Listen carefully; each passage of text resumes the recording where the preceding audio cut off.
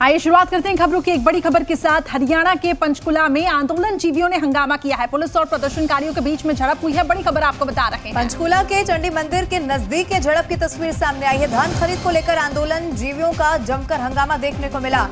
सवाल यह है कि ये आंदोलन जीवी आखिर कब बाज आएँगे? पुलिस बैरिकेटिंग को कैसे तोड़ने की यहाँ पर कोशिश की गई? ट्रैक्टर लेकर यहाँ पर पहुँचे और फिर पुलिस बैरिकेटिंग को तोड़ना पड़ा। पुलिस यहाँ पर बेबस नज़र आई और मजबूरन पुलिस ने भी लाठीचार्ज यहाँ पर किया। तो तस्वीरें आपको दिखा रही हैं। पुलिस और प्रदर्शनकारियों के बीच में जो झड़प हुई है और आखिरकार पुलिस को बल का प्रयोग यहाँ पे करना पड़ा। पंचकुला के चंडी मंदिर के नज़दीक दरअसल ये झड़प हुई है। आप देख सकते हैं इन तस्वीरों में बैरिकेटिंग को यहाँ पे तोड़ा गया है और देखिए किस तरीके से यहाँ पर पुलिस पूरी स्थितियों को संभालते हुए दिखाई दे रही है, लेकिन ये आंदोलन जीवी हैं, ये बास नहीं आ रहे हैं, हंगामा कर रहे हैं। बड़ी खबर आपको बता रहे और एक और बड़ी खबर आपको बता दें, हरियाणा के सिरसा में भी आंदोलन जीवियों का हंगामा देखने को मिला है। ये बड़ी खबर पुलिस के सामने जोरदार प्रदर्शन किया गया जगह जगह आपको बता दें कि ये आंदोलन जीवी उत्पात मचा रहे हैं और ऐसी ही एक तस्वीर हरियाणा के सिरसा से भी देखने को मिली, जहाँ पर आंदोलन जीवियों ने दो हंगामा किया। दो तस्वीरें अभी आपको टेलीविज़न स्क्रीन पर दिखाएँगे। एक हरियाणा के पंचकुला और दूसरा